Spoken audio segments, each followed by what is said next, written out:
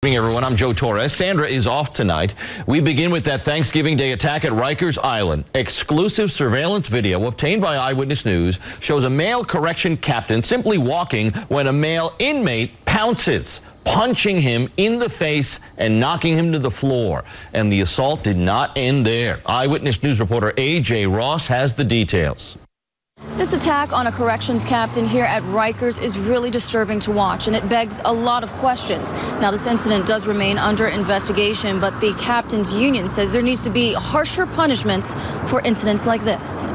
It was just before 2 p.m. Thanksgiving Day when Captain Awar Gary began making the rounds inside the Otis Bantum Correctional Center at Rikers. Surveillance cameras show Gary being followed by two other captains. Then seconds later, he's suddenly surrounded and ambushed.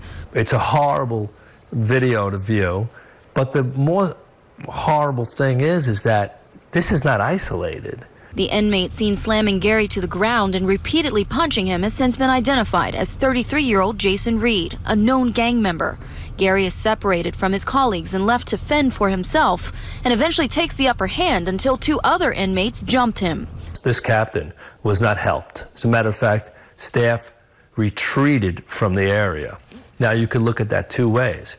You could look at that as just barely being a coward, or you could look at it as staff is so concerned for their own safety that that's the only thing that's paramount in their minds. We spoke off camera with Captain Gary before his follow up doctor's appointment Saturday. He showed us some of his injuries, including a seven inch cut from his ear to his cheek, along with several bruises and lacerations. I don't see a day where uh, the reports come in where there isn't an assault on a captain each and every day, usually more than one. The president of the Correction Captains Association says these types of assaults on officers occur all too frequently, and he wants punishments like punitive segregation to be utilized more to deter these types of incidents. The men and women that are working Rikers Island are working the dangerous, the most dangerous job in the city of New York. The danger uh, is so prevalent that it's, it's, it's scary. The Department of Corrections released a statement this afternoon saying, quote, we will never tolerate the actions of those who harm our staff, and we are working with the Bronx District Attorney to arrest and prosecute any inmate involved in this incident.